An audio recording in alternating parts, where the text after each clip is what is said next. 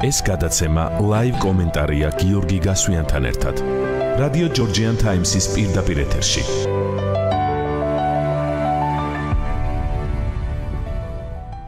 მოგესალმებით რადიო ჯორჯიან ტაიმსის პირდაპირ ეთერში ყოველ სამშაბათს 17 საათსა და 10 წუთზე გადაცემა ლაივ კომენტარი გიორგი გასვიანთან ერთად. დღეს ჩვენ საუბრობთ იმ თემებზე, რომელიც ალბათ პრინციპში ყველაზე ცხელია დღეს, თუმცა ნებისმიერი თემიდან შეგვიძლია გამოვიტანოთ დასკვნა თუ რა ხდება ჩვენს ქვეყანაში.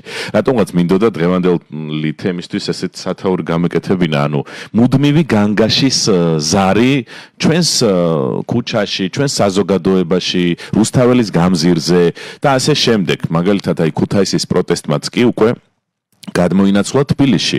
აა უსმენთ პოლიტიკოსებს განსხვავებული მოსაზრებების მიუხედავად, მაინც ვერ გავიგეთ კონკრეტულად რა ხდება ამ პროტესტის მიღმა, ან თქვათ იგივე იმ კომპანიის უკან სახელმწიფოა დამნაშავე, ხალხმა ვერ გაიგო სინამდვილეში რა ხდება და შეშინებულია ხალხი. უარი უნდა ვთქვათ თუ არა ვთქვათ ენერგო დამოუკიდებლობაზე თუ ასე შემდეგ. როდესაც საზოგადოება უსმენს ამა თუ იმ მიდგომის პოლიტიკოს, ჩვენ რაღაც დაახლოებით დასკვნა მაინც გამოგვაქვს. აი რატომ ამბობს მაგალითად ამას ნაციონალური მოძრაობა, იმას ქართული ოცნება თუ ამას თქვა ლევან ვაშაძე. ბოდიში ლევან ვასაძე თუ გიორგი ვაშაძე მოკლედ. აი გამოგივიდა ის. ეს ჩვენი გადაცემის სტუმარია ბატონი ზალუ დუმაშვილი, ნაციონალური მოძრაობის ერთ-ერთი ლიდერი და ერთ-ერთი მთავარი სახე და ასევე გადაცემის მეორე ნაწილში ირაკლი კაკაბაძე დრამატურგი მწერალი და ჩვენი მეგობარი არის სტუმრად. მოგესალმებით ბატონო ზალიკო, მადლობა მადლობა რომ გამოყავით ჩვენთვის დრო და მიიღეთ მონაწილეობა გადაცემაში. მე მგონი მე არ მის არ მესმის ბატონ ზაალის ხმა და გთხოვთ რომ ჩემს ყურებშიც შემოუშვათ. აი, ახლა ისმის. ბატონ ზაალ ნაციონალური მოძრაობა ყოველთვის მткиცე იყო თავის გადაწყვეტილებებში. მაშინ, როდესაც ის იყო ხელისუფლებაში და შემდეგ, როდესაც ოპოზიციაში მოუწია ყოფნა. დღეს იქამდეა მისული ნაციონალური მოძრაობა, რომ ზუსტი გადაწყვეტილება არც აქვს მიღებული პრინციპში პარლამენტში შევა თუ არ შევა. რაც არ უნდა იყოს თვითონ ის როგორ თქვა, მაჩვენებელი რაღაცა დუღილის ტემპერატურის ყოველთვის ყველაზე მაღალი აქვს ხოლმე მას როგორც რადიკალურ ოპოზიციას. აი დღეს რა მდგომარეობაშია ნაციონალური მოძრაობა და კონკრეტულად რა პოზიცია გაქვთ აი ხა ყველაზე უახლესი მონაცემებით, აი რა მოლაპარაკებები მიდის ასეთი, ან რას ელოდებით იმისათვის რომ დაბრუნდეთ საკანონმდებლო ორგანოში, სადაც უკვე შესულია თქვა კრიტიკული ოპოზიცია და ისინი ყოველ დღე თავის კრიტიკულ მოსაზრებებს აცნობენ პარლამენტის წევრებსაც და საზოგადოებასაც. საკმაოდ ისეთი პროტესტიც რაც გააჩნიათ ღიად და ნათლად გამოხატავენ. ხომარ გაიმიჯნა ამ ყველაფრისგან თავი თქვენმა პარტიამ? ანუ რაღაცა ვერ ხედავთ კიცე გადაწყვეტილებებს და რატო გადაწყვეტილებები იქნება თან ძალიან მალე ამაზე გეტყვით აუცილებლად უბრალოდ არ შემიძლია არ გამოხმაუროთ თქვენ შეფასებებს ოპოზიციასთან დაკავშირებით ესე იგი პარლამენტში ვინ შევიდა ის არის კრიტიკული ოპოზიცია და ჩვენ ვართ რადიკალური ოპოზიცია ეხლა ამ შეფასებას ვერ დავეთანხმები ვერანაირად. არა კრიტიკული ოპოზიციაც ხართ და რადიკალ რადიკალურ ასე ვთქვათ გზებსაც მიმართავთ ხოლმე ეხა ეს ახა არ არის ახალი ხო ხო რადიკალური გზები კი გასაგებია ამ ხელისუფლების პირობებში საჭიროა ზოგჯერ რადიკალურ გზებს შემართო იმიტომ რომ სხვა ენა ამ ხელისუფლებას არ ესმის, თუმცა მე შეფასება არ მომწონს თვითონაც როგორც ასე რა. ასაგებია, კი ბატონო, ჩემ შეფასებას ნუ ნუ აღიქვამთ მაინც და მაინც როგორც რაღაცა დამკვიდრებულ შეფასებას. დიახ.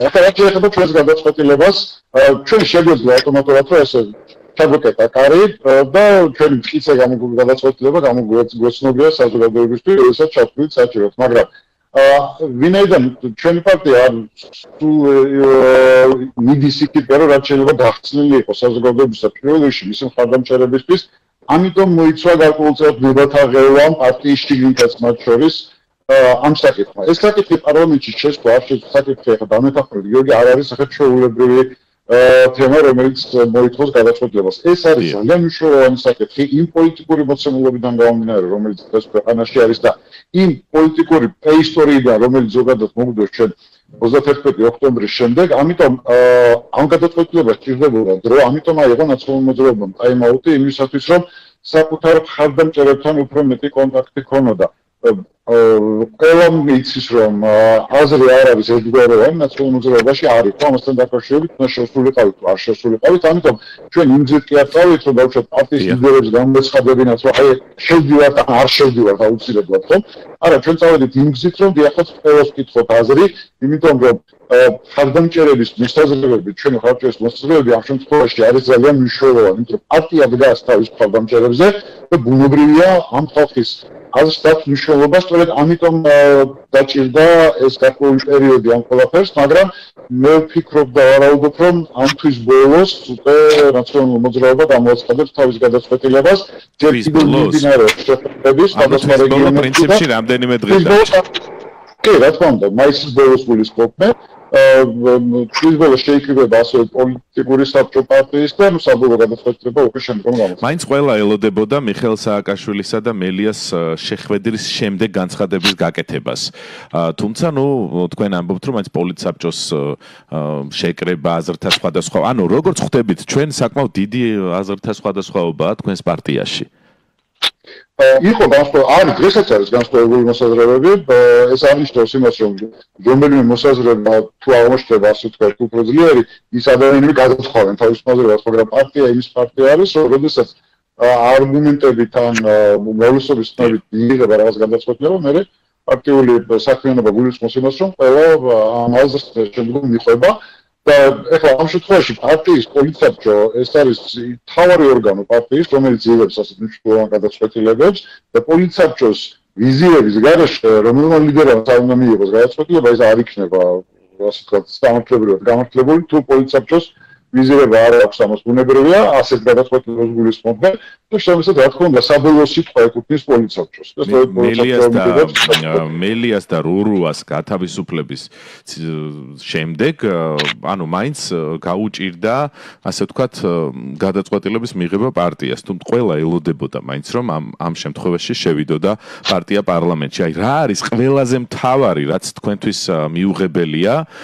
იგივე თუნდაც ევროკავშირთან მოლაპარაკებების შემდეგ? აჰა აა მე ჩემ პოზიცია არის გამოსგია თქო რომ პარტია უნდა შევიდეს პარლამენტში. მე შემსვლელთა რიგებში ვარ მომხრეთა რიგებში. აა და ჩემი თავარი ასე ვთქვათ თუმცა ეს არნიშნავს იმას რომ მე სულად ვიზიარებ იმ დოკუმენტს რომელიც რომელიც თელი მოაწერეს პარტიებმა და აქ თავარი ჩემთვის და პარტიაში უმრავლესობის აბსოლუტური უმრავლესობისთვის არის ამინისტრიის შესახებ ჩადებული პუნქტი, რომელმაც უცხო ინტერპრეტაცია მიიღო შემდგომ პარლამენტში, რის შესახებაც ჩვენ თავიდან ვამბობდით, რომ ეს პუნქტი იყო ძალიან ბუნდოვანი და საშუალებას აძლევდა ქართულ ოცნებას, რომ სუსპანელად წაეყვანა აა კანონპროექტის კონმართულები და ასეც მივიღეთ რეალურად ჩვენ დღეს, რომ არის ორი განსხვავებული კანონპროექტი დარეგისტრირებული პარლამენტში, ოპოზიციის და ქართული ოცნების ნახეთ რომ საკომიტეტო მოსმენებზე ოპოზიციის კანონპროექტი ჩავარდა და ბუნებრივია ქართული ოცნების გადადა და სწორედ ასე გავა ბოლომდე ალბათ რომ ეს კანონპროექტი სწორედ ეს არის ჩვენთვის თავარი რაზეც რასაც არ ვეთანხმებით კატეგორიულად ეს არის ამნისტიის შესახებ კანონი კანონი რომელიც მოიგო იკამელიას დაწესებულის პროცესი ქართულ მოსევა მოიგო თავის თავზე და ახლა შეიძლება მაქსიმალურად რომ ყველა დამნაშავე აბსოლუტურად მოექცეს ამინისტიაში და არა მხოლოდ ის დანაშაულები, რომელიცაც რომელიცაც დანაშაულიც უკვე გამოვლენილი არა მიმდინარეობზეება. ის დანაშაულებიც კი რომლებიც ჯერ კიდევ გამოვლენილი არ არიან და შეიძლება საომალოდ გამოიკვეთოს მათი დანაშაული. ანუ ფილიანად გადაფარა ქართულ მოსწრებამ ყველა ყველა დანაშაული ქართულ მოსწრების მიერ ჩადენილი ამ კანონპროექტის მიხედვით. ამას ეწინააღმდეგები ჩვენ უკვე ველსხობთ. აა ნაციონალურ მოძრაობაში ხომ არ არის გაჩენილი ასეთი აზრი, რომ თქვა პარლამენტში შესვლის შემდეგ შესაძლოა მან დაკარგოს თავისი ამორჩევლის აი ეს მთავარი განწყობა, რითაც არის დღეს ის მთავარი ოპოზიცია. აა სხვადასხვის პარლამენტში არ შესვლის მომხრეების ერთ-ერთი არგუმენტი ესეც არის, მინდა გითხრათ, რომ ჩვენ თუ ამ ნაბიჯს გადავდგოთ, ჩვენ შეიძლება დავკარგოთ ამორჩევლის ის ნაწილი, რომელიც დღეს კატეგორიულად წინააღმდეგია, რომ ჩვენ პარლამენტში შევიდეთ, მაგრამ სწორედ ამიტომ მართავთ ჩვენ ამ ამ შეხედვებს. სწორედ ამიტომ ავიღეთ ეს ჩვენ ეს ტაიმაუტი, რომ ორივე მხარეს, რომელიც არის შემსრულებლის და რომელიც არ არის ეცინაამდეგებიან პარლამენტში და ორივეს გავაცნოთ, ანუ პარტიის სამომავლო გეგმები, ანუ რა შემთხვევაში მოვისმინოთ მათი არგუმენტები, გავასწროთ ჩვენი არგუმენტები და ასე ვთქვით, ყველა შევეცადოთ დავარწმუნოთ, რომ პარტიის განვითარებისთვის ახლა რა იქნება უფრო სწორი ნაბიჯი. ნებისმიერ შემთხვევაში ალბათ ეხლა შეიძლება არ დარჩეს მაყოფილი საბოლოო გადაწყვეტილება ჩვენ ხალხდამჭერებს გვიესხო, მაგრამ სწორედ ჩვენი ამოცანა იქნება ის, რომ ჩვენ უკვე საქმით დაუმტკიცოთ ჩვენ ხალხდამჭერებს, რომ ეს ნაბიჯი სწორი იყო და ამას მალე დავანახებთ მართლაც უყოლას. ნებისმიერ შემთხვევაში ალბათ დამეთანხმებით. დამეთანხმებით ალბათ რომ პარლამენტში შესვლა თუ არ შესვლა ორივე შემთხვევაში უნდა იყოს გათვლილი ალბათ თქვენი პარტიის თქვათ მიხედვით იმაზე რომ ახლოვდება არჩევნები რომელმაც ძალიან ბევრი რამ უნდა გადაწყვიტოს. ანუ უნდა დატოვოს ქართული ოცნება ხელისუფლებაში ან პირიქით ახალი რეალობა მოგცეს პარლამენტში და რაც საკვირველია უკვე ქვეყნის მართლობაში აი ეს გათვლები რამდენად სწორად აქვთ და ხომ არ შეიყვანეს ნაციონალ მოძრაობა რაღაცა ისეთ ჩიხში სადაც ის ვეღარ იღებს გადაწყვეტილებას ამას კითხავთ და მეც აღარ კითხავთ პარლამენტში შესვლაზე არა არა სხვათა შორის არანაირად არ ვერანაირად ჩვენ ყანეს პირიქით. ჩვენ სწორედ აი ამაზე დაყრდნობით რასაც თქვენ დანეთ მომავალ არჩევნებზე დაყრდნობით მივიღებთ ჩვენს გადაწყვეტილებას საბოლოო ჯამში იმიტომ რომ ის კი არ არის სახელმწიფოებრივი ჩვენ დღეს პარლამენტში ვიქნებით თუ არ ვიქნებით. თუ მნიშვნელოვანი არის ის რატომ შევდივართ ამ პარლამენტში თუ შევდივართ იმიტომ რომ გათვლა უნდა იყოს ბულმოვალზე და არადღევანდელობაზე ბუნებრივია. და შესაბამისად ყველანაირ ნებისმიერ გადაწყვეტილებას სწორედ დაფუძნებული იქნება იმაზე თუ რას გეგმავს ნაციონალური მოძრაობა იგივე თვითმმართველობის არჩევნებში, იგივე ვადამდელ არჩევნებში, ჯობია რომ პარტია იყოს პარლამენტში და გამოიყენოს. აი ზალიკო უდუმაშვილს როგორ მიაჩნია თქვენ თქვენ როგორ მიგაჩნიათ? აი თქვათ გადაწყვიტა პარტიამ რომ არ შედის პარლამენტში. ანუ ის უფრო მეც გააკეთებს იმისთვის რომ თვითმმართველობის არჩევნებში მეტი ხმები აიღოს და ასე შემდეგ? თუ პირიქით დაკარგოს. ასე მე მგონია რომ პირიქით ჩვენ მაქსიმალურად უნდა გამოვიყენოთ ახლა ყველა პლატფორმა, რომელიც კი არსებობს პოლიტიკური პარტიისთვის და ეს არის ძალიან მნიშვნელოვანი პლატფორმა, ბუნებრივია პარლამენტი, სწორედ იმისათვის, რომ თვითმმართველობის არჩევნებში მაქსიმალურად მობილიზაცია მოახდინოთ იმ ოპოზიციური ხარდამჭერების, რომელიც დღეს ქვეყანაში აბსოლუტური უმრავლესობა არის, ასევე ქუჩა, პარლამენტი, ყველა პლატფორმა აბსოლუტურად უნდა იყოს გამოყენებული ამის, იმიტომ რომ ძალიან მნიშვნელოვანი არჩევნები გველდება. ეს არ იქნება იული გასეირნება, იმიტომ რომ ეს არის თვითმმართველობის არჩევნები და ძალიან განსხვავებული არის ეს არჩევნები იგივე საპარლამენტო არჩევნებისგან, ამიტომ ოპოზიციას გაცილებით მეტი ძალის ხმევა ჭირდება ყოველთვის თვითმმართველობის არჩევნებში. შესაბამისად, რა თქმა უნდა, ამ შემთხვევაში ჩემი პოზიცია არის, რომ აუცილებლად უნდა გამოვიყენოთ ჩვენ საპარლამენტო ტრიბუნა აი ეს დარჩენილი პერიოდი ოქტომბრამდე, იმისათვის რომ აი ეს თელი ოპოზიციური სპექტრი, რომელიც არის დღეს ქვეყანაში, ამ ამ ოპოზიციური ხმების აკუმულირება მოახდინოთ უკვე არჩევნებისთვის. დიახ. ბატონო ზალიკო, დიდი მადლობა ასეთი გულწრფელი და ღია პასუხებისთვის. მე მინდა რომ ნამახვანის თემასაც შევეხოთ და მაინტერესებს პირადად თქვენი მოსაზრება და ასევე ზოგადად ოპოზიციური აზრი. აა მაგალითად ლევან ვასაძეც ეწინააღმდეგება ნამახვანის შენებას და იძახის რომ აა ნამახვან ჰესი არ უნდა აშენდეს და ეკონომიკის მინისტრი უნდა გადადგესო და დიდი ხნის წინ უნდა გადამდგარიყო. დღეს ბოკერიამ გააკეთა განცხადება რომ ნამახვან ჰესთან დაკავშირებით დაკავშირებით ჩვენს მომხრეებს ან იმ ადამიანებსო ვისაც ჩვენ ჯერათ მოკლედ. ნუ გამოხვალთო ნუ დადგებითო ამ პროტესტის გვერდითო იმიტომ რომ საქართველოს ჭირდება ენერგოდამოუკიდებლობაო. რაღაცა ძალიან ჭრელი და სხვადასხვანაირი განცხადებები კეთდება. ხელისუფლების პოზიციაც გასაგებია რასაკვირველი ისინი ამბობენ რომ მოლაპარაკებისთვის მზად არიან მაგრამ რეალურად ის მორატორიუმი რასაც ითხოვს ვარლამ გოლეთიანი ну ჯერჯერობით არ არ შედგა და პროტესტის ალღა ამ წუთებშიც მიმდინარეობს პროტესტი. არ ვიცი სადამდე იყოფათ არ იყოფათ ეს კიდე მეორე საკითხია ზოგადად სახალხო პროტესტი. ისედაც დღეს ქვეყანაში ბევრი რამ ხდება. გაფიცვების სერიები დაიწყო. მუდმივად რაღაც განგაში ზარია მაშინ როდესაც პოლიტიკაშიც კრიზისია და რაღაცა მოლაპარაკებებში ნახეთ ჩვენ ხო განვლილ თვეებში როგორი კრიზისი იყო რომ სანამ არ ჩაერია მესამე ძალიან სერიოზული ძალა აი იქაც კი იმათაც კი გაუჭirdათ რომ რაღაცა საერთო კონსენსუსამდე მისულიყო ეს რაღაცა დაპირისპირებული მხარეები ასე ვთქვათ პოლიტიკურად. და მაინტერესებს რა პოზიცია გაქვთ მიხელ სააკაშვილმაც თქვა რომ ზოგადად ენერგოდამოუკიდებელი უნდა იყოს ქვეყანა და წლების წინ ის აკეთებდა ამ განცხადებას და აპირებდა დიდი ჰესების მშენებლობას. ახლა რაღაცა განსხვავებულად საუბრობს და ვერ ხვდები ანუ საით არის სიმართლე და საით არის ასე ვთქვათ ოპოზიციური აზრი. ვისეთ ახმებით თქვენ იცით რა ქვეყანას რომ ქვეყანა რომ უნდა იყოს ენერგოდამოუკიდებელი და ეს რომ არის ქვეყნისთვის საერთოდ მნიშვნელოვანი ამაში ვარ ყარად დარწმუნებული და ეს არის ჩემი ყარი პოზიცია. მაგრამ ის რა ვითარებაც არის დღეს შექმნილი ხომ ეს არის თლიანად ხელისუფლების პასუხისმგებლობის საკითხი. აქამდე არ უნდა მიეყვანა ხელისუფლებას ეს საკითხი.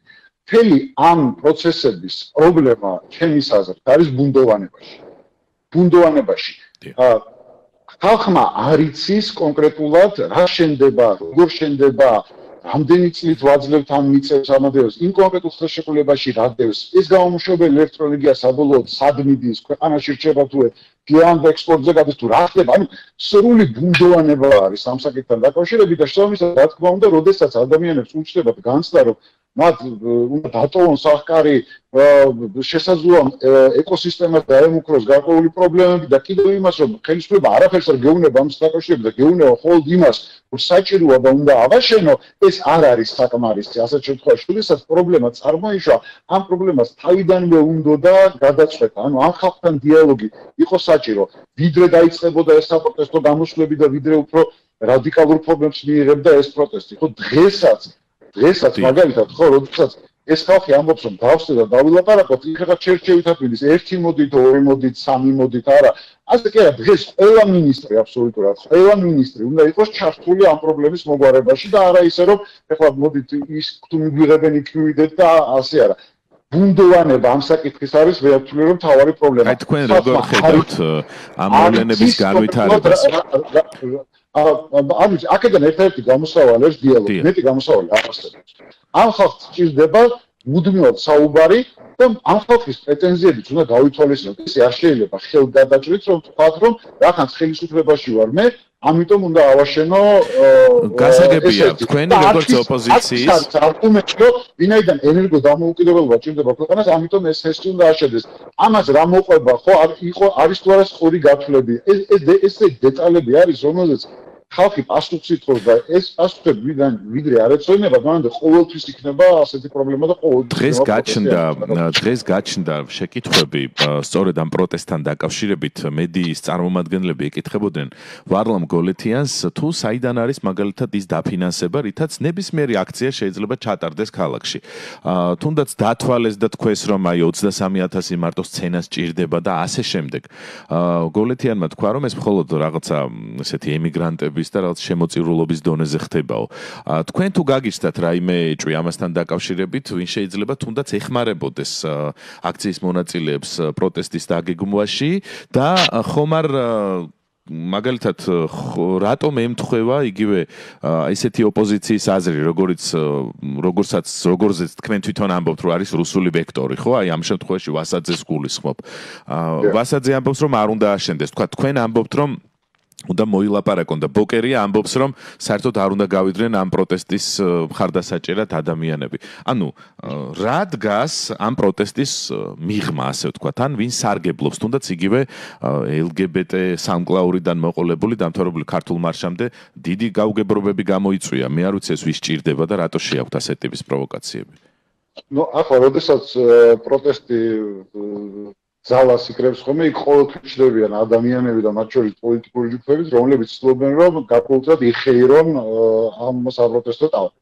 ხა რამდენად მისცემენ თვითონ ამ პროტესტის აქციის ორგანიზატორების სხვა რაღაც კონკრეტულ პოლიტიკურ დაჯგუფებებს ამის საშუალებას ეს მათი გადასაწყვეტია უკვე, იმიტომ რომ ასეთმა თქვა მიკედელებამ ამ საპროტესტო აქციებთან შეიძლება დანიშნულება დააზიანოს თავად ეს აქცია და ასე რომ ძალიან დიდი სტიპენდია ჭირდება თავად აქციის ორგანიზატორებს. ამას მე უბრალოდ ესე შევისახმისდებ. ეხლა მე ნამდვილად არ მაქვს წარმოდგენა საიდან ფინანსდება. მე არც იმას არ გამოურიცხავ, ხა ბევრი ადამიანი შეიძლება გულშემატკივრობდეს ამ აქციის მონაწილეებს და მათ შორის ადამიანები რომელთაც აქვს გარკვეული საშუალებები და ისინი აფინანსებდნენ არ არის გამორიცხული ვის არ აწყობს? კარგით აი კარგით ხელისუფლებამ თქვათ ანუ არ გააგებინა თქვათ იგივე ადგილობრივ მოსახლეობას თქვათ ამ ჰესის თქვათ უსაფრთხოების და ასე შემდეგ დეტალები. მაგრამ აი აწყობს თუ არა იგივე რუსეთს საქართველოს ენერგო დამოუკიდებლობის ასე თქვათ იდეის მოსპობა თუნდაც? და ხომ არ ფიქრობთ რომ შესაძლოა თქვათ მსგავსი ვექტორის წარმომადგენლებიც დაუპირისპირდნენ აპირდნენ ასე ვთქვათ ჰესის აშენებას. რუსეთს ახლა საერთოდ არამხოლოდ ენერგოდამოუკიდებლობა ნებისმიერი ფორმა, რომელიც ზოგადად ქვეყნის დამოუკიდებლობას უკავშირდება, არაფერი არ აცხოვს ბუნებრივია. ხო და ასე რომ რუსეთი ყოველთვის აქტიური იქნება ამ მიმართულებით, რომ საქართველოს რაც შეიძლება იყოს დამოუკიდებელი იგივე რუსეთზე, ძალიანად ეს მათი ამოცანა არის და ჩვენი ამოცანა სამაგრო საპირისპირო არის, ხო, ანუ ჩვენ მოვიპოვეთ წლების წინ ეს ენერგოდამოუკიდებლობა რუსეთისგან და მართლაც ხა ამას უნდა დაფასება და შემოშად ეს არ უნდა დავკარგოთ. ასე რომ ბუნებრივია, ახლა მე არ მინდა რომ რაღაც ისტრები გადავიტანო საერთოდ თუმცა აქციის ორგანიზატორების მიმართ, მაგრამ ის ადამიანები კონკრეტული ჯგუფები, რომლებიც ცდილობენ დღეს რომ რაღაც იაქტიურონ ამ აქციების ფონზე, ბუნებრივია, ახლა ისინი არიან ძალიან ასოცირებული ახლა მოსკოვთან და რუსეთთან და სწორედ ამით მომავალთ რომ აქციის ორგანიზატორები ალბათ მეტი სიფრთხილე უნდა გამოიჩინონ, როდესაც ასეთი ადამიანები ცდილობენ რომ აფილიერება გააკეთონ მათთან მათ აქციებთან. ძალიან დიდი მადლობა რომ მიიღეთ გადაცემაში მონაწილეობა. წარმატებებს გისურვებთ. ეს იყო ზალიკო უდუმაშვილი ნაციონალური მოძრაობიდან პირდაპირ ეთერში და ახლა რეკლამის დროა. რეკლამის შემდეგ კი ვრუნდებით ირაკლი კაკაბაძესთან ერთად ბატონო ირაკლი. აი ეს კვანძი, აი ჯერ შეკითხვას დავსვამ და შემდეგ დავბრუნდეთ და გავაგზავნოთ საუბარი.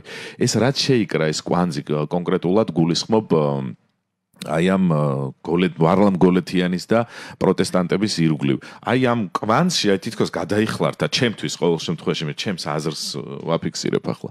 და ვერ გავიგე ხარ უნდა გაიხსნას ეს კვანზი რა თეატრალურ ენაზე რო ვთქვათ და სად უნდა გაიხსნას ეს კვანძი და რა უნდა გამოჩნდეს ასე ვთქვათ იქ შესაძლოა ამ კვანძში იყოს რაღაცა წითელი ფერის რუსული ლენტები მაგალითად ან პოსტსაბჭოთა მიდგომები. მოკლედ მინდა რომ ამაზე გაშლილა და თავისუფლად ილაპარაკოთ. თქვენ ირაკლი კაკაბაძესთან ერთად ბრუნდები რამდენიმე წუთში ასე რომ დაგველოდეთ ეს გადაცემა ლაივ კომენტარია გიორგი გასვიანთან ერთად.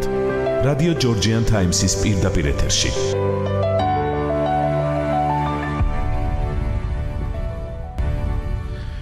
დავბრუნდით პირდაპირ ეთერში რასაკვირველია და მე ვარ გიორგი გასვიანი ეს არის გადაცემა live კომენტარით პირდაპირ ეთერში გთხოვთ ბატონო ირაკლი რომ გავკეთოთ თქვენი მოსაზრება. ალბათ სოციალურ ქსელშიც აქტიურობთ და არაერთხელ ნახეთ თქვენი გამოთქმული აზრი თუნდაც აი ნამახვან ჰესთან დაკავშირებით. მე ვიცი რომ გულშემატკივრობთ იგივე თუნდაც ვარლამ გოლეთიანს და იმ ადამიანებს ვინც აპროტესტებენ ჰესის მშენებლობას. და დღეს მითხარით თქვენ მე როცა დაგიკავშირდით ტელეფონში რომ აი ეს 19 მეტრიან ტალღას გამოიწევს თქვათ იმ შემთხვევაში რომ უსაფრთხოების ნორმები არ იყოს ისე დაცული როგორცაც ვითომ კვირდება ეს ენკა ხო?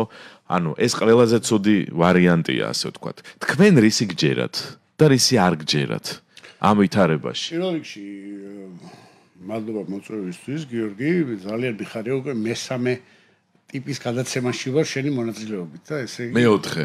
ხო მეოთხე უბრალოდ მეოთხე. ცოტა ახლოს მიკროფონი ესე იგი ძალიან გახარებული ვარ ამითი რომ კიდე ერთხელ გსტუმრობ ესე იგი დიდი მადლობა. უკვე სხვა ფორმატში.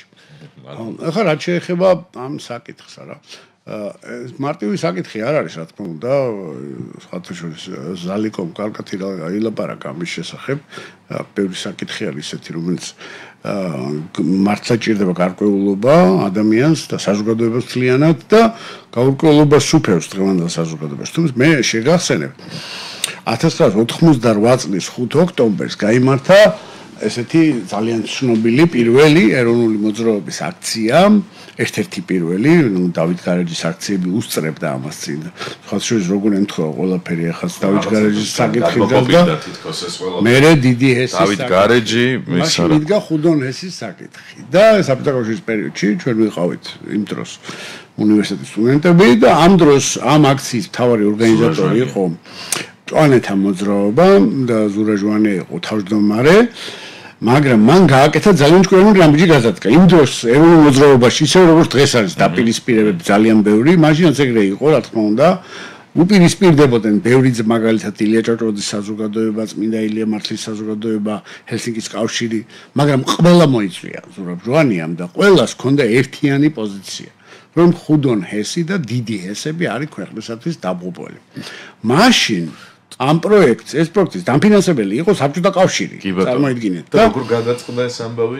როგორ გადაწყვეტა და არაშენდა. ეს იყო გამარჯვება ეროვნული მოძრაობის და მაშინ მახსოვს რომ ამბობენ რომ ზურა ჟვანიას ამ ამან პოლიტიკურად მოუტანა ძალიან დიდი, ასე ვთქვათ, როგორ თქვა, ეს კარიერა იქნება თუ რაღაცა პოლიტიკურ გზაზე, მოკლედ ეს იყო ერთ-ერთი ყველაზე მწვანე, ასე ვთქვათ, შუქი ზურა ჟვანიასთვის და სხვა შორის პარტიის ლიდერის წვანე პარტიის წვანე შუქი იყო ზუსტად. მაგრამ ამბობენ რომ ანუ ეხლა ვიღაცამ გააკეთა არ მახსოვს შედარება რომ ვარლამ გოლეთიანიცო ზურამ ჟვანიას აი კომენტარი ეწერა რა.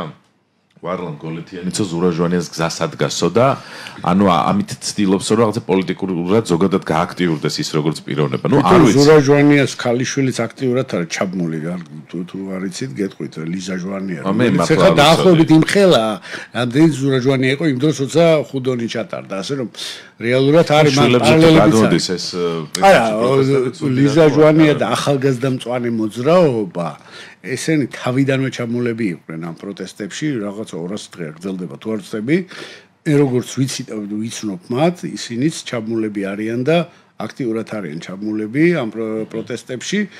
გარდა ამისა არის ძალიან ბევრი პროგრესული ჯგუფი.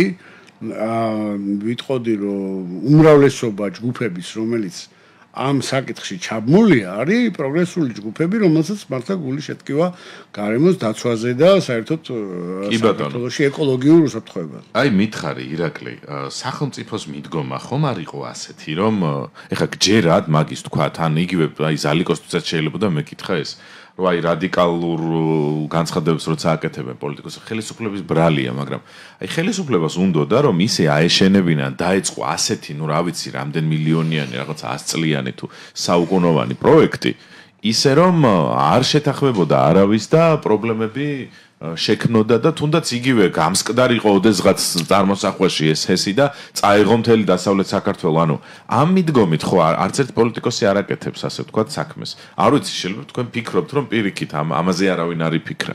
ანუ რა პროცესთან გვაქვს საქმე მართლა ვერ ხვდები. მე როგორც მოქალაქეს მართლა ძალიან მაწუხებს ისიც რომ თუნდაც ენერგოდამოუკიდებელი არ არის ჩვენი ქვეყანა, მაგრამ ისიც მაწუხებს რომ შესაძლოა მართლა ეკოლოგიას რამე საფრთხე ეს უფრო მეტად მაწუხებს მართალი გითხრათ, იმიტომ რომ 30 წელია მაინც მაინც ისეთ ისე გავიზარდე მე ყოველ შემთხვევაში თუ გაჭირებას ხედავდი 90-იანებიდან მით უმეტეს და ამიტომ გეკითხები, აი მითხარი, რას ფიქრობ შენ? აა უნდა მივიდეს იქამდე რომ გაჩერდეს ეს მშენებლობა და საერთოდ ენკა წავიდეს აქედან და თავი დაგვანებოს თუ თუ უნდა მივიდეს იმ კონსენსუსამდე რომ ჩვენ დავრწმუნდეთ რომ იქ მართლა სერიოზული ჰესი შენდება და ეს გჭირდება.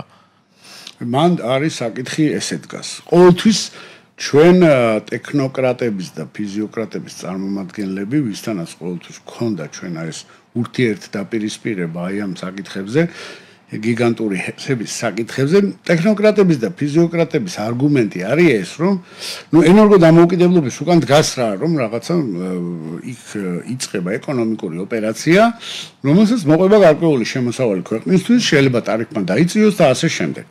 ამას რა თქმა უნდა, ქვეყნისათვის აუცილებელია, რაც შეიძლება უსაფრთხო ენერგეტიკული წყაროები და მათ შორის მცირე ელექტროსადგურები, ჰიდროელექტროსადგურები, ქვეყანა მდიდარია ჰიდრორესურსებით და ცხადია ჰიდროელექტროსადგური მცირე, რომელიც უსაფრთხოა და რომელიც არ გამოიწვევს წყალდიდობას და ჩახჩობას მთელი ესე იგი რეგიონების და 19 მეტრიან ტალღებს და ასე შემდეგ მიწისძვრის შემთხვევაში ეს ძალიან კარგი იდეაა. და მასში არაფერი ცუდი არ არის და აქედან გამომდინარე არ არის ეს ხალხი ყველა ჰესების წინააღმდეგი ჩვენც არა ვარ ჰესების ყველა სოფელში შეიძლება პატარ-პატარა ჰესები გაკეთდეს. უნდა, არის ესეთი ესა მოხდეს დივერსიფიკაცია და მოხდეს. ნამახვან ჰეს ისევე როგორც ხუდონ ჰესი, ეს არის საბჭოთა დროს შედგენილი გიგანტური პროექტი.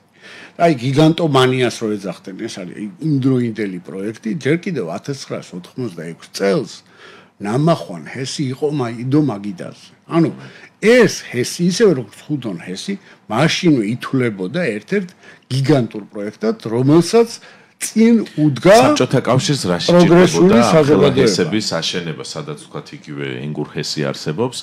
აი ესეთი ბატონო. კიდე ორი დიდი ჰესი ამ პატარა ქვეყანაში კავშირს გართულ- ჰქონდა საკმაოდ კარგა კარგად გაზეთილი, ასე ვთქვათ, ენერგოპროგრამა და მას ჭირდებოდა ენერგომატარებლები და ენერგომწარმოებლები იმისათვის, რომ რაც შეიძლება მეტი სიმძლავრე ქონოდა მის ეკონომიკას, რა თქმა უნდა, და სამხედრო ინდუსტრიულ კომპლექსს და ასე შემდეგ. საბჭოთა კავშირი ეს რამ ჩაანაცვლა საბჭოთა კავშირი, ესეც მითხარი მაშინ.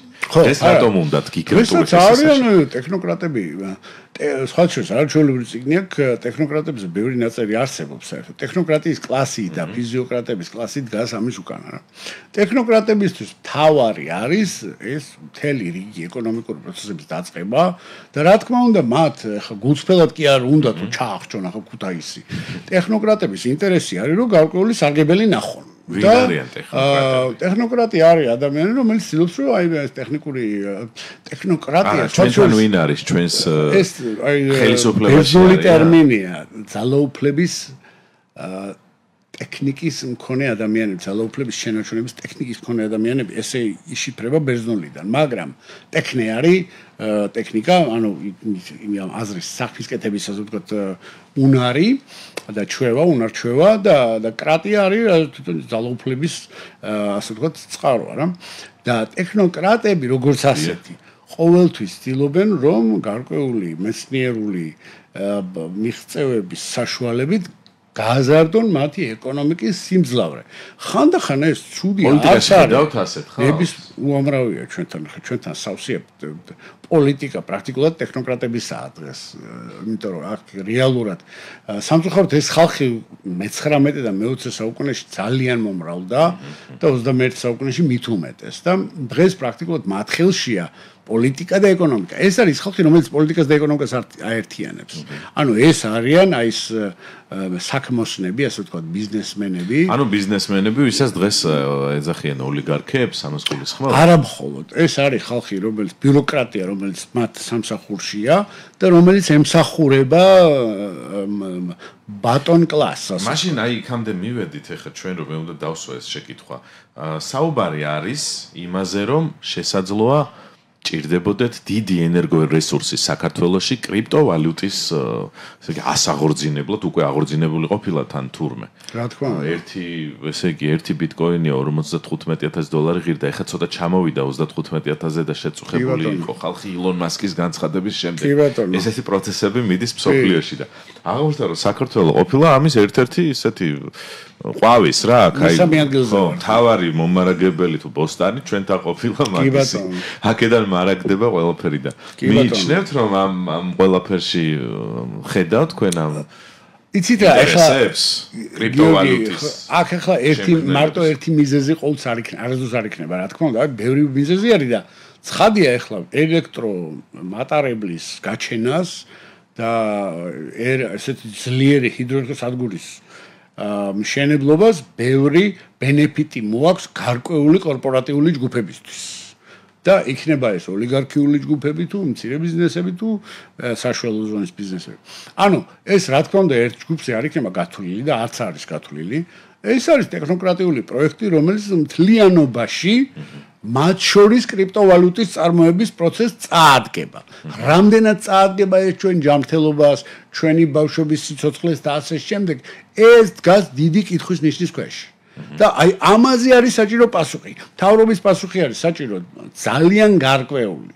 აი იქნება თუ არა ნებისმიერ შემთხვევაში მიწისძვრა თუ მოხდა იქნება თუ არა 19 მეტრიანი ტალღა დააზიანებს თუ არა ეს კულტურულ ძეგლებს დააზიანებს თუ არა 19 მეტრიანი ტალღა საერთოდ წალეკავს დასავლეთ საქართველოს ახლა ცუნამზე დიდია მე მგონი 19 დიდია დიახ და უდიდესი უშველებელი კატასტროფა არის თუ ეს მოხდა და აი შეკითხვა ხო გაუჩნდება ადამიანს თუ სეისმური ზონა სეისმური ზონა. იგურჰესი თუ არსებობს და ვთქვათ, არ არის, არ გვეშინია ცხოვრობთ, ხო? და ამდენი ხანია გვიცხოვრია ენგურჰესთან ერთად. ანუ რა განსხვავებაა, ესე იგი, თუ დღეს დღევანდელი ტექნოლოგიებით აშენდება ის, რატომ იწვევს აი ამ კითხვებს, რომ შეიძლება რამახვან ჰესმა წალეკოს იქაურობა და ენგურჰესი არსებობს? ну ამაზე სეისმოლოგებმა ისაუბრეს უკვე რამდენჯერმე იყო გამოკვლევა და ნამახვან ჰესი ძალიან ისევე როგორც ხუდონ ჰესი ძალიან საშიშად ახლო არის ეხლან ხანს მომხდარ დიდ მიწის ძვრებთან მაგალითად რაჭის მიწისძვრა შეგვიძლია მოვიყვანოთ. პლუს კიდევ რა თქმა უნდა აქეთაც იყო მიწისძვრები აღმოსავლეთ საქართველოში სომხეთში იყო მიწისძვრები. ეს უფრო ახლო არის ვიდრე ვთქვათ ენგურჰესი ენგურჰესი პრაქტიკულად ზღვისპირას არის. რა თქმა უნდა რისკები ყველგან არის და თავის დროზე ენგურჰესაც ენგურესიც არ უნდა აეშენებინათ. პირდაპირ უნდა ითქვას, რომ ენგურესიც ძალიან რისკის შემცველი პროექტი იყო, მაგრამ იმ დროს არავინ არავის არ ეკითხებოდა, ხალხს არავინ არავის არ ეკითხებოდა. როგორც კი შეეკითხენ ხალხს და როგორც კი დადგა მინიმალური დემოკრატიაც კი ხუდონესის პირობებში ხალხმა თქვა უარი დღესაც ხალხის ძალიან დიდი ნაწილი იტყვის უარს იმიტომ რომ შვილები ეძდებათ მათ შორის ესე იგი იმ ხალხს ახალგაზრდებსაც უკვე ბავშვები ყავთ არა ვარლამ გოლეთიანი სტოლებს და იციან რომ შვილები ეძდებათ და მომავალი თავები უნდა გაიზარდოთ და არ უნდათ მოხდეთ ის მოხდეს ის რაც თქვა მოხდა ფუკუსიმაში ან ჩერნობილში და სხვა ადგილებში არა?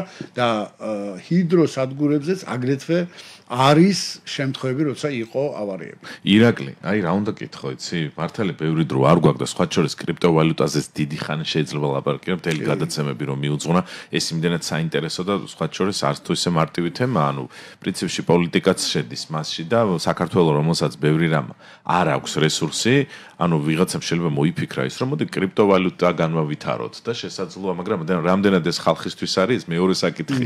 ირაკლი, აი მინდოდა მეკითხა, მუდმივი განგაშის სიგნალი. აი 30 წელი გასაგებია. ნუ კარგი მაშინ ესე ცხოვრობდით, მე შეიცვალა რეალობა, მე ეს მოხდა, ახლა ახალ ეტაპზე გადავედით, მაგრამ საბოლოო ჯამში ჩვენ გვეუბნებიან, რომ შენდება ესე იგი ჰესი, რომელიც შესაძლოა რომელმაც გაგვანადგუროს და არ გვეკითხებიან აზრს, შესაძლოა მოწყდეს მთა, ნუ სადღაცა იქ ვაშინგტონისკენ, აგერ თბილისში. მოწყდეს მთა და წაგვიღოს იმთან. შესაძლოა, ნუ მაგალითად 13 ივნისი განმეორდეს და არ არის იქ ბოლომდე დაცული. აა პარლამენტში ვერ შედ ვერ შედიოდნენ და სანამ მთელი ევროკავშირი არ ჩამოვიდა მოლაპარაკებები ვერ შედგა. არის პოლარიზაცია და ეს წინ 2020-ში არჩევნები იყო, 21-ში სხვა არჩევნებია და 21-მა შეიძლება გამოიწვიოს 22-ის არჩევნები. 3 წელი ახლა ამ საარჩევნო რეჟიმში მუდმივი დაპირისპირება და დიალოგის აი რა რა ვიცი აი რამდენ პროცენტია დიალოგის ალბათობა? აი ძალიან დაწეულია. განგაში სიგნალი ისმის სულ ტელეეთერებიდან დაწყებული ქუჩით დამთავრებული. აი ირაკლი კაკაბაძე მინდა რომ კარგად თქვას ახლა თავის სათქმელი ანუ დღეს რა მდგომარეობაში ვართ ჩვენ როგორც დამოუკიდებელი რესპუბლიკა და პროტესტებიც გვაქვს მაგრამ რატო გვაქვს მუდმივად განგაშის სიგნალი? დღეს ვართ ჩვენ აა წყალგამყოფთან და ამას პირდაპირ ვიტყვი, იმიტომ რომ მომსწრე ვარ საქართველოს დამოუკიდებლობის გამოცხადების, რაც ძალიან გამიხარდა და ამისთვის მიბრძოლია კიდეც და ჩვენ იმისთვის ვიბრძოდით, რომ საქართველოს ყოფილიყო თავისუფალი ქვეყანა და მისი მოქალაქეები ყოფილიყო თავისუფლები და ბედნიერები, არა? რამდენად თავისუფლები და ბედნიერები ვართ დღეს, ამაზე ლაპარაკი ძალიან რთულია იმ პირობებში, როდესაც ქართველი ერი არის სწორედ აი ამ რაღაცა ტექნოკრატიულ, ფიზიოკრატიული ელიტების მონობაში. და არა მხოლოდ მათი, არა არა მხოლოდ ჩვენი ტექნოკრატების და ფიზიოკრატების, არამედ მათი ტრანსნაციონალური კორპორაციების, რომლებიც შემოდიან საქართველოსში და ექსპლუატაციას უწევენ ქართველ ერს. ამაზე მეტყველები ჩვენ მომხმარებლები ვართ ასე ვთქვათ მათი ხო? ერთი მხრივ მომხმარებლები ნორმალ მონები ვართ. მონები ვართ. ქართველი ერი დღეს კიდევ უფრო მონობაშია ვიდრე იყო საბჭოთა პერიოდში, არანაკლებშია. დღეს არის კორპორატიული წნეხის მონობაში ძალიან დიდში. ეს არის ტრანსნაციონალური კორპორატიული წნეხი, რომელსაც ხელს უწყობს ტექნოკრატიულ, ფიზიოკრატიული მთავრობები, რომელიც მუდმივად არის ზრიად გამსახურდიას ძალადობრივი დამხობის შემდგომ ჩვენ ვართ მუდმივად ტექნოკრატიულ ფიზიოკრატიული მთავრობების ხელში, რომლებიც თავის მხრივ ქართველებს ამყოფებენ კორპორატ ტრანსნაციონალური კორპორაციების სრულ მონობაში და იმ შიშით რო აი სამუშაო ვარ და უკაკო შიმშილით არ მოკვდა და ყდება ეს ხალხი შიმშილი. ძალიან მომწონს რა. 2 მილიონით ნაკრები ვარ დღეს საქართველოში მაცხოვრებელი. 5 მილიონ 500000 იყო 1992 წელს და დღეს არის 3 მილიონ 700.000. თითქმის 2 მილიონი ნაკლებობა. აქედან ნახევარი გასულია. ნუ გასულია და პრაქტიკულად შეგვიძლია თქვა რომ დაკარგულია ეს ხალხი, იმიტომ რომ ვინც წავიდა, ახლა დღევანდელ ეკონომიკურ მდგომარეობას რო პოლიტიკურ, ეკონომიკურ პირობებში, რა თქმა უნდა, ეკონომიკა საზღვავს ამ ყველაფერს არა. ამ მდგომარეობას რო უყურებს და რა მონობაშია საქართველოს მოსახლეობა და რა საშინელ პირობებში ცხოვრობს და როგორ შიმშილით სიკვდილისგან გადარჩენისთვის ვიბრძვით ყოველდღიურად და როგორი და ტრაგედია არის უგმიროთ نيكოლო ორთქიფანიძის. نيكოლო ორთქიფანიძის ტრაგედია უგმიროთ გვაქვს დღეს. გმირები არ არიან და ტრაგედია არის. არის. და სულ არის ეს ტრაგედია და სულ არის განგაში და ხალხი არ დაიღალა სულ ამ განგაშის სიგნალის რაღაცა მოსმენაში რა. ხალხი დაიღალა და ხალხი ეხლა მე რას ვატყობ იცით აი ახალგაზრდა წამოვიდა მე ხედავ რომ ოპოზიციასაც ხალხი უკვე დიდად ვეღარ უჭირავს არა იმიტომ რომ ეს ქლიანად დისკურსი პოლიტიკური დისკურსი არის ნეოლიბერალური და აქედან გამომდინარე ერთი და იგივე რაღაცა ეს მემარჯვენე რეაქციული დისკურსი სუფერს საქართველოში რომელიც არის რომ აი გაყიდე ყველაფერი და ყველაფერი კარგად იქნება ბაზარი და არეგულირებს ყველაფერს 30 წელი ეს გვესმის და ამ დროს ხედავთ რომ ბაზარი არაფერს არ არეგულირებს და აქედან გამომდინარე ხალხი ბრაზდება ისე როგორც მაცხოვარი გაბრაზდა თავის დროს ბაზარი დაანგრია რა ბაზარი დაანგრია. მივიდა მაცხოვრის ასე იგი ებიდა რა ქვია სახარებიდან ერთ-ერთი ყველაზე მნიშვნელოვანი სცენარი მივიდა და დაუნგრია ბაზარი იერუსალიმის არის ტაძარში. ამას სხვადასხვა ხშირად არ ახსენებენ დღეს რატომღაც. არა სხვადასხვა პოდიუმებიდან. ეს ყველაზე მნიშვნელოვანი აქტია ერთ-ერთი მაცხოვრის მიერ ჩადენილი და გაკეთებული. მან ამით ანიშნა ადამიანებს, რომ ყველაფერში თავისუფალი ბაზარი არ შეიძლება. რაღაცა ცოტა ადგილი უნდა კონდეს ურთიერთსიყვარულს, ერთმანეთზე ზრუნვას, ერთმანეთზე რაღაცა ერთმანეთისთვის გაიჭირო ადამიანმა და მოიყოლო ცოტა და ასე შემდეგ. დღევანდელ დღეს ანტიღირებულებები არის შემოსული, რომ მე გამდიდრდე, მე ვიყო წარმატებული და ასე შემდეგ და აი ხლა ისეთ გლობალურ ჭეშმარიტებაზე ლაბარაკობთ თქვენ, რასაც როგორც ახლა ხსნი ამდვილად ცალკე გადაცემების თემა არის. მე ვიცი რომ შენ გადაცემებს იწყებ ერთ-ერთ მედია საშუალებაში. მე მინდა გისურვო წარმატებები სამწუხაროდ უნდა დავასრულოთ. დარწმუნებული ვარ საინტერესო იქნება შენი მოსმენა ასეთი ტიპის თემებზეც და გეტყვი ასევე იმას რომ მე მაქვს რატომღაც იმედი და განცდა იმისა რომ არ ვიცი ხა კორონავირუსის დროს დამემართა ეს თუ რა არის. მგონია რომ აი ეგ მიდგომები ცოტა შეიცვლება სამყაროში. ნუ ძალიან გლობალური საკითხია. მგონია რომ შეიცვლება. და აი რაც თქვი ახლა რომ მაცხოვარმა თქვა რომ მოდი ბაზარი ყველაფრის გაყიდვა, ყველაფერი მხოლოდ აღებ მიცემობაზე რო არ იყოს და ცოტა რაღაცა უფრო სხვა ლეველზე გადავიდეთ, ასე ვთქვათ, მეტად თანაზიარები გავხდეთ და მეტად მოყვარულები ერთმანეთის, მგონია რომ ეგეთი დრო მოვა. არ ვიცი. აი ეს მე მგონია მეც მაგის იმედი მაქვს, რომ ახალი თაობა, შენი თაობა, აგერ გიორგი ცხადაძე რომ ღერის, რამ გვაქცია წარმართება, წარმატებამ, წარმატებამ, ის ჩემ ტექსტია, სხვა შორის და რატომ ამბობ, იცი რომ? იქ რაღაც იყო. შენი თაობა. ჩემთვის ხუმრობა მე მოგიყვები ეს. აი, ეს საინტერესოა, ძალიან და აი ეგ გადავაცილეთ, მეგობრებო, მე მგონია საინფორმაციო გამოშვების დრო დგება. ირაკლი წარმატება მოგწევს გისურვებ და მადლობა კიდევ ერთხელ. მე დაგემშვიდობებით და დაგიბრუნდებით მომა მომდევნო სამშაბათს ისევ 17 საათსა და 10 წუთზე ლაივ კომენტარში დროებით. ეს გადაცემა ლაივ კომენტარია გიორგი გასვიანთან ერთად. რადიო ჯორჯიან ტაიმსის პირდაპირ ეთერში.